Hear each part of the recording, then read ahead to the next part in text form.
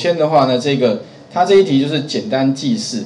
那里面的话呢，比如说哈，各位可以看到，第一个就是说我要新增资料的话，这边有多一个 add，你按下资料新增之后，它除了会新增到我们的 database 之后之外哈，它也会再怎么样呢？把它秀到我底下有个 list view。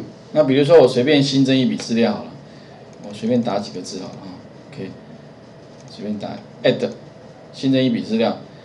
那再把它删掉好了，这个地方再随便打几个，然后再 add 一下，OK，两笔资料，以此类推，一直往下啊。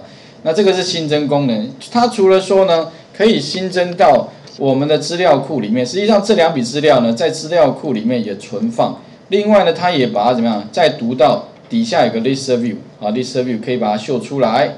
第二个是说，如果我要修改跟删除，有没有办法呢？哈，比如说我点了其中一笔。你会发现呢，点下去之后，这两个按钮会自动怎么样？本来是 disable，是不能够去改变的。那这个时候，当你点选之后，你可以在里面哈做一些些的资料变更。啊，比如说我这边后面再打几个字进去，按一下 update。那各位可以发现呢，它按一下 update 的时候呢，哈，就会直接怎么样呢？把这上面的资料直接变更，储存到资料库里面啊。特别重要，这后面有个资料库。再把它读到这边来哦，所以中间还是会有个资料库在这里。那一样的方法哈，如果我要删除哪一笔资料的话，我点了这一笔资料，这两个按钮，比如说我按下 Delete 的话，它就会把这笔资料给删除。除了它会先从那个资料库里面的部分呢，先把它删除。本来有两笔资料的，它会先把第一笔资料删除之后，然后再更新一下这个 List 啊这个 List View 里面的资料。哦，那最后当然你也可以把资料查到这里面来，所以。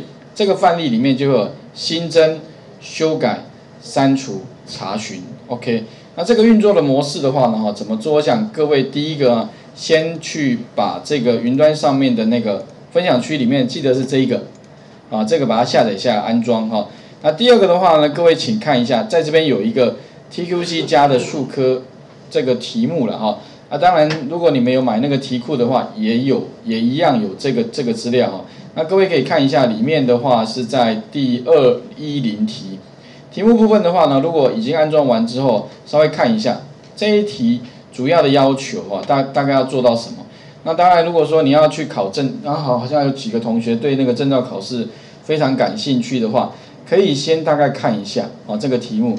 那其实这个题目啊，它洋洋洒洒总共有四页啦，啊四页。那各位稍微把题目的。